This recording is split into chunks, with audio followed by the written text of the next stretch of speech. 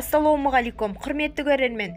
Бізді тамашалауды және де бір ғана лайк тиместен басуды ұмытпаңыздар. Зейнетақы менен жәрдемақы мөлшері көбейді. Зейнетақы мөлшерінің ең төменгі мөлшері 68 бүтін оннан екі мың теңгеден 77 бүтін оннан төрт теңгеге көбейе өсті. 2 бүтін оннан екі миллион зейнеткердің барлығының зейнетақысы көбейді. Мүгедектік және асыраушыларынан айырылған жағдайда төленетін жәрдемақының мөлшері артты.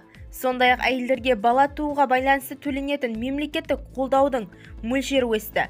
Республикалық бюджеттен жұмыс істейтін ата-аналарға бала күтімі бойынша жәрдемақы тағайындалады. Оның мөлшері биылдан бастап 8 бүтін оннан бес пайызға өседі.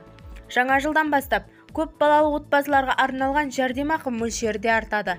Бізді тамашалауды жалғастырыңыз және де достарыңызға бөлісуді ұмытпаңыздар.